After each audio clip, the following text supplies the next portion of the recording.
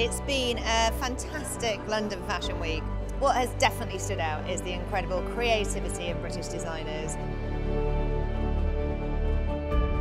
We've had Richard Quinn, Christopher Kane, J.W. Anderson, Simone Rocha, Roksanda, Emilia Wickstead.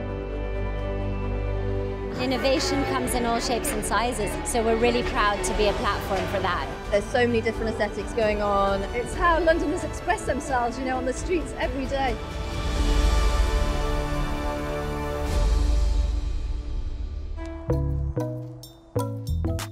This London Fashion Week has shown optimism and resilience, variety. It's given me such hope that things are beginning to turn in a sustainable way.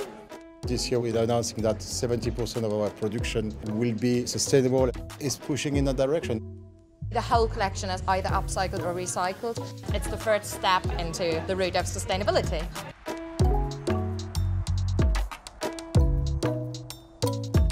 There's a lot of check. Like, that's one of the biggest trends, a lot of check. A lot of red as an accent colour, and lots of vegan leather, kind of a leather moment.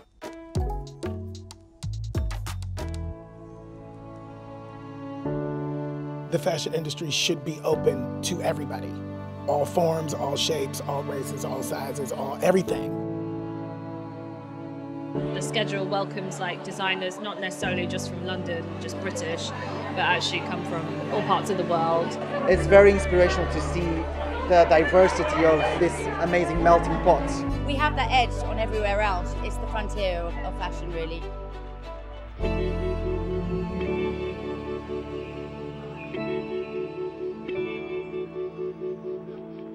People, buyers, editors really come here and discover new talent. These young ones are just so exciting. It's amazing what the BFC do with New Gen, it's incredible. I feel very, very proud and honoured to have been awarded the Queen Elizabeth II Award. We really need these kind of supporters for young brands. Without that, this industry would not maintain its rhythm and its momentum.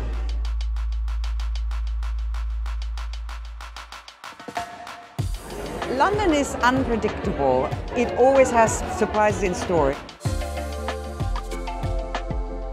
The energy that the designers have here are, are just out of this world. It should bring colour, it should bring excitement, and I think that that's what London Fashion Week always does. It's the one that inspires me the most. Everyone here has a real heart and I think belief in what they're doing. We may be small, but in spirit we are almighty.